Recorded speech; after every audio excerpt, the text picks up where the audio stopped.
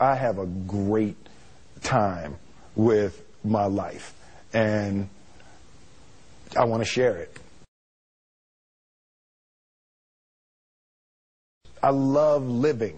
I think that's infectious. It's something that you can't fake. Greatness is not this um, wonderful, esoteric, elusive, uh, God-like feature that only the special among us are, will ever taste. You know, it's something that truly exists in all of us. It's very simple.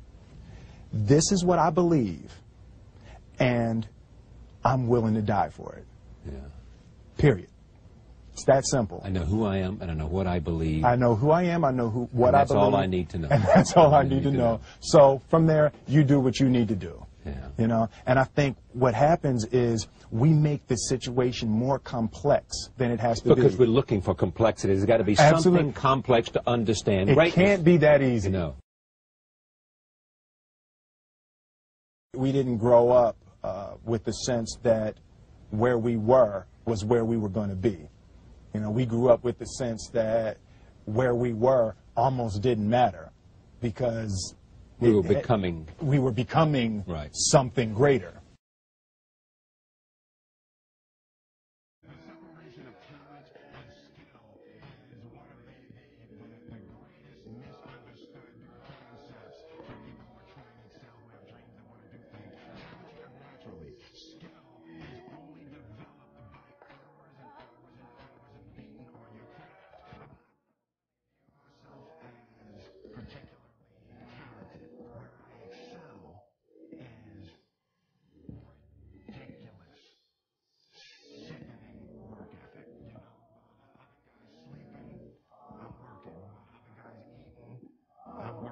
There's no easy way around it. No matter how talented you are, your talent is going to fail you if you're not skilled. You know, if you don't study, if you don't work uh, really hard and dedicate yourself to being better every single day, you'll never be able to communicate with, with people, with your artistry, the, the way that you want. So The only thing that I see that is distinctly different about me is I'm not afraid to die on a treadmill.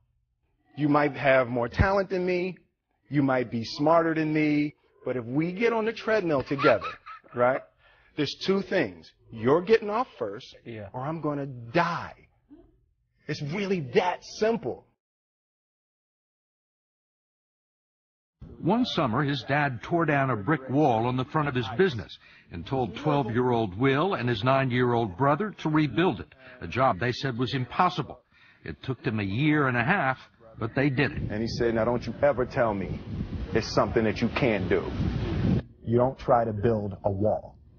You don't set out to build a wall. You don't say, I'm going to build the biggest, baddest, greatest wall that's ever been built. You don't start there. You say, I'm going to lay this brick Yeah. as perfectly as a brick can be laid. Yeah. And you do that every single day. And soon you have a and wall. soon you have a wall. You know, it's uh, an idea that my grandmother uh, always had that, it, you know, if you're going to be here, then there's a necessity to make a difference. She always instilled the responsibility, the spiritual responsibility that you have to make every group you come in contact with better.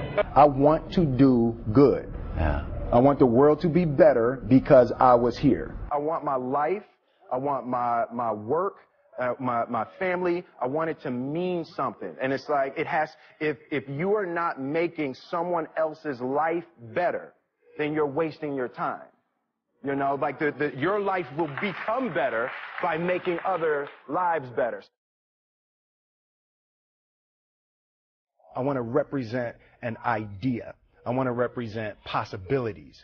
I want to represent the idea that you really can make what you want. One of my favorite books is the The Alchemist, uh, Paulo Coelho, and that's just I just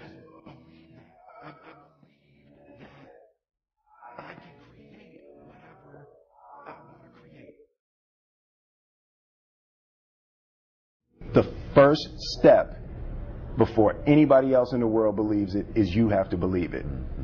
There's no reason to have a plan B because it distracts from plan A. I think that there's a certain delusional quality that all successful people have to have. You have to believe that something different than what has happened for the last 50 Yeah, million yeah, years of history. You have to believe that something different can happen. Confucius said, uh, he who says he can and he who says he can't are both usually right. Being realistic is the most commonly traveled road to mediocrity. Why would you be realistic? What's the point of being realistic? Just put up a barrier. Right, Yeah, I'm going to do it. It's done. It's already done. The second I decide it's done, it's already done. It's, Now we just got to wait for y'all to see. It's unrealistic to walk in a room and flip a switch and lights come on. That's unrealistic. Fortunately, Edison didn't think so. It's unrealistic to think you're going to bend a piece of metal and fly people over an ocean in that metal. That's unrealistic. But fortunately, the Wright brothers and others didn't didn't believe that, and it just seems it, it just seems like such a ridiculous idea to me to embrace the idea that it's not going to happen and that's not real for that to happen. As soon as you say it, now you just made that real. Our thoughts, our feelings, our dreams, our ideas are physical in the universe. That if we dream something, if we picture something, if we commit ourselves to it, that that is a physical thrust towards realization that we can put into the universe. That the universe is not a thing that's going to push us around. That the world and, and people and situations are not something that are going to push us around. That we are going to bend the universe and command and demand that the universe become what we want it to be. I, I study the patterns of the universe. There's a, a redemptive power that making a choice has, you know, rather than feeling like you're at effect to all the things that are happening. Make a choice. Like you just decide what it's going to be, who you're going to be, how you're going to do it. Just decide. And then from that point, the universe is going to get out your way. It's like it's water. It wants to it wants to move and go around stuff, you know. You know, there's a there's a flow of the universe that I've I've grown to know just how to go with it.